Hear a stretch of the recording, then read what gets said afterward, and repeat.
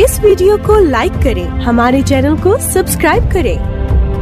Bell icon ज़रूर press करें। Awareness drive हुआ है I think one of the first of its kind जहाँ जनता भी थी मीडिया भी थी ब्यूरो था, और और यू नो मैं हूँ।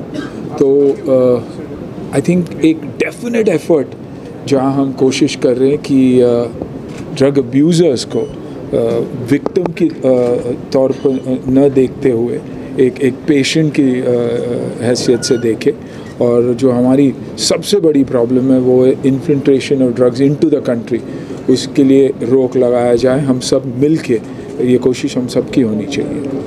सुनील जी जैसा कि बॉलीवुड की बात की जाए तो सर बॉलीवुड में एक इजी टारगेट बना दिया जाता है आपने भी कहा तो आप तो आप खुद आप आपने खुद भी कहा। आप आप खुद ने कहा कि इजी टारगेट है तो बॉलीवुड जब अच्छा काम करता है तो इतना लोग मतलब जान नहीं नहीं नहीं नहीं ऐसी बात नहीं है कि ये मैं नहीं मानूँगा। बॉलीवुड जब अच्छा काम करता है तो अच्छी बातें होती भी है।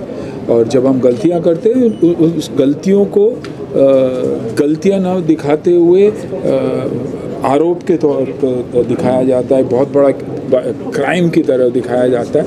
तो रिक्वेस्ट यही है कि जिस जिस लेवल की बात हो वैसे ही किया जाए। जैसा कि सर लोगों को नहीं सर आई थिंक आप करना कितना ज़रूरी है लोगों को नहीं नहीं आज ये 25 जून को एक वर्कशॉप यहाँ पर हमने किया है, जिसमें हर तरह का सब्जेक्ट कवर किया है। इसमें आप हेल्थ हेल्थ कॉन्सिक्वेंस की बात की हमने, मैडम सारिका के द्वारा। और जो कानूनी कार्रवाई जो होती है लीगल कॉन्सिक्वेंस जैसे पाँच ग्राम से लेके तो जो भी नोटिफाइड कमर्शियल क्वान्टिटी उसमें कितनी सज़ा का प्रावधान है। एक साल से लेके तो तीस साल तक सज़ा होती है। दंड होता है। इसके बारे में हमने काफ़ी डिटेल में बात की है।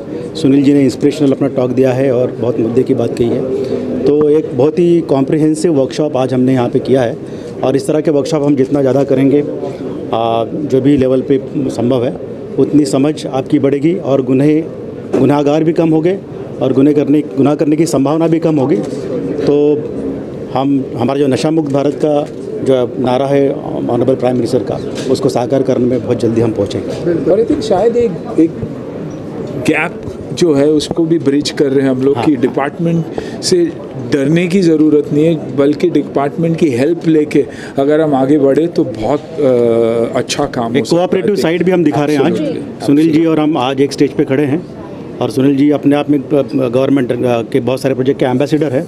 Is a very chosen personality so I am very thankful to him तो एक कोऑपरेटिव साइड भी हम दिखा रहे हैं और ये एक दूसरे के हाथ में हाथ लेकर ही काम होगा क्योंकि किसी एक की ज़िम्मेदारी नहीं है। और भारत में हर ज़िम्मेदारी एक कलेक्टिव ज़िम्मेदारी है कोई भी एक डिपार्टमेंट कोई भी समस्या का समाधान नहीं दे सकता तो इसलिए हम लोग कलेक्टिव एफर्ट कर रहे हैं कलेक्टिव ज़िम्मेदारी कर रहे हैं। ड्रग्स इस्तेमाल करने से ज़्यादा बेचने वाले जो जगह जगह शाम होती है मुंबई के बहुत शहरों में बहुत सी जगह में ड्रग्स बेचने वाले माफिया बहुत हैं उसके लिए आपका डिपार्टमेंट क्या कर रहा है? उसको जेल में डालते हैं।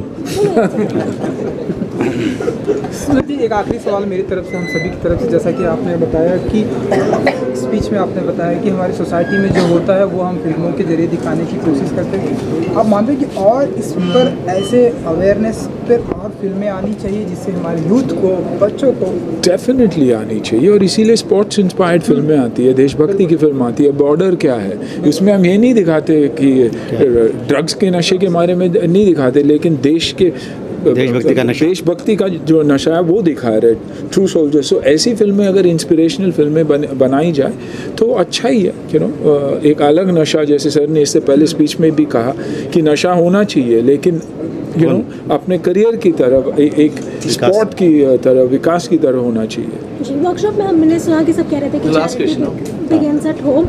So we'd like to know from you since you belong from industry और जैसे कि बोल रहे कि इंडस्ट्री को ऑलरेडी टैगलाइन किया जा रहा है what measures have you been taken to you know कि आप अथिया को या फिर रहान को उस तरह से उस चीज़ों से दूर रख सकें। माई पर्सनल बिहेवियर जैसे माँ बाप घर पे बिहेव करते हैं वैसे ही बच्चे बिहेव करते हैं। बच्चे सुन के नहीं आपकी कभी सुनेंगे नहीं। आपने अगर बच्चों को कहोगे कि ये करो या ये मत करो वो कभी नहीं सुने सुनेंगे। लेकिन अगर आप आप खुद वो नहीं करोगे तो बच्चे नहीं करेंगे। They will always follow in your foot steps most of the time and मैंने कभी आहान को या आतिया को ये नहीं कहा कि ये करो या ये नहीं करो but I always made them aware of what is good and what is not not तो हम ऐसा मान लें कि सुनील जी को 40 एज का दिखने का या और डे बाई डे यंगर दिखने का नशा है?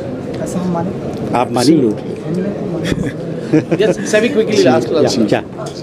Sir, uh, you rightly mentioned that sports is another way forward for helping in terms Absolutely. of physical and mental health. and confidence confidence for the children when when a child is confident when a child believes in team effort believes in uh, uh, losing learning how to lose and how to win he will automatically stand tall in his life you know because losing is something that generally shakes people up in life कि अरे मैं नहीं कर पाऊंगा लेकिन जब एक team effort होती है और आप गिरते हो और उठते हो और वापस खड़े हो जाते हो आई थिंक वो कॉन्फिडेंस आप में आ जाती है and you will never restore to anything uh, that you will depend on for the rest of your life. Thank you, thank you, thank you, thank you.